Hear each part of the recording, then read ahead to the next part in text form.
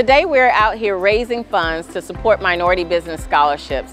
This activity every year provides the money that HMSDC needs to continue to create innovative programming to help grow minority-owned businesses and connect them to opportunities in the public and private sector.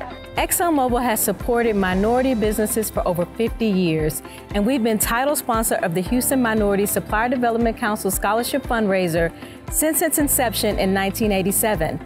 This fundraiser has raised over $1.7 million and awarded over 750 scholarships toward minority business growth and development in the Houston area. Shell values the work that HMSDC is doing in the community. What better way can we show the impact that MBEs have for our supply chain than the opportunity to allow them to help to get their gaps minimized. Baker Hughes always wants to support uh, anything when it comes to education and development. This is our way to give back, engage more, and come out and spend some time with the companies that we are actually helping to sponsor. Receiving a scholarship has allowed me to receive certifications, take uh, yellow belt and white belt courses. I'm just so grateful to HMSDC for the opportunities. As a young person, I highly recommend joining HMSDC. A great benefit of this council is that it allows the youth to create great connections with both corporate and minority-owned businesses.